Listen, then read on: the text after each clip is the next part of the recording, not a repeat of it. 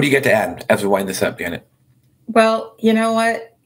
As far as I'm concerned, if you're doing something to start with, it's better than nothing. So that's the first thing that I always tell somebody when they said, I don't exercise. Well, we'll start with something somewhere and then start adding to it because as you keep building on that, you're going to be able to add more. And then, you know, educate yourself, go online. Like Shawn said, look some of these things up. We do that we look all the time. We look at different things, you know, his coach throws things at us and we look at it and see what it is. And don't be afraid.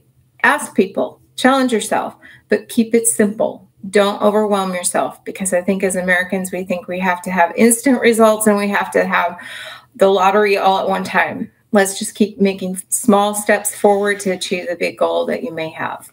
Well, and remember that, you know, embrace the journey. Right. So even when you know I, I talked about having a, you know a goal of you know doing a 5k or or what have you on the calendar um, still you need to embrace the process embrace the journey because like the ride i do in palm springs it's it's it's usually it's 100 miles and it's about five hours but to train for that ride I train 10 to 15 hours a week. So embrace that part of it. You're, you're, the journey is a lot longer than the destination.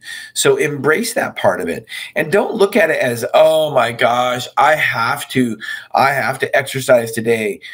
Look at it like this. I get the privilege of exercising today. Imagine that. I mean, embrace it like that. Say, wow, I get to exercise today. And we have talked about it many times on our podcast, and it still rings true today. There is no better antidepressant than exercise, period. There is not one. Jen and I are both pharmacists. There is not any drug that is better than exercise for depression, period.